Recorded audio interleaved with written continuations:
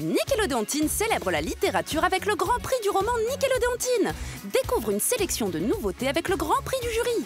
Et aujourd'hui, on vous présente Arusha et la lampe du chaos.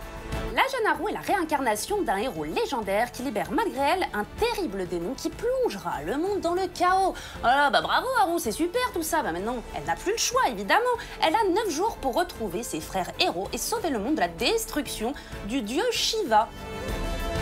Et la lampe du chaos sera-t-il le grand gagnant du Grand Prix du jury? Pour le savoir, rendez-vous le 14 octobre pour connaître le verdict du jury. C'est Arusha ou pas? Je sais pas moi. Moi je trouve très bien quand même celui-ci. hein. Il est super. hein. Moi je sais pas pour qui voter.